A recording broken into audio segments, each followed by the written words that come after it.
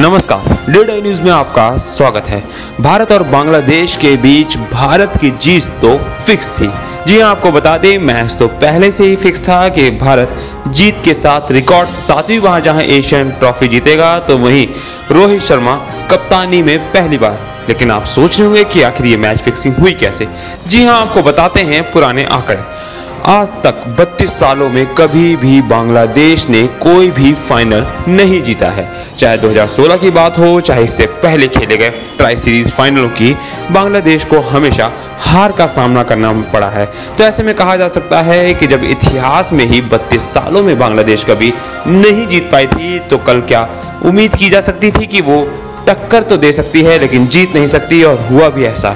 भले ही अंतिम गेंद तक सांस रोक देने वाला मैच चला हो, लेकिन इतिहास नहीं बदल पाई बांग्लादेश और भारत ने जीत के साथ इतिहास बना दिया। तो अगर आप भी बांग्लादेश के लिए कुछ कहना चाहते हैं तो कमेंट बॉक्स में ज़रूर हमें बताइए।